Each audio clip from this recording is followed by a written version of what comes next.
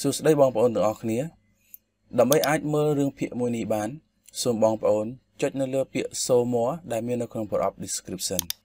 បន្ទាប់មកទៀតសូមចុចនៅលើ link website ដោយដែលបានបង្ហាញនេះហើយសូមបងប្អូនរងចាំដល់ website ដំណើរការបាន100%ជាការស្រេចសួស្តីបងប្អូនទាំងអស់គ្នា ដើម្បីអាចមើលរឿងភាគមួយនេះបានសូមបងប្អូន ចុចនៅលើពាក្យ show more ដែលមាននៅក្នុង product description បន្ទាប់មកទៀតសូមចុចនៅលើ link website ដោយដែលបានបង្ហាញនេះហើយសូមបងប្អូនរងចាំដល់ website ដំណើរការបាន100%ជាការស្រេចសូមអរគុណ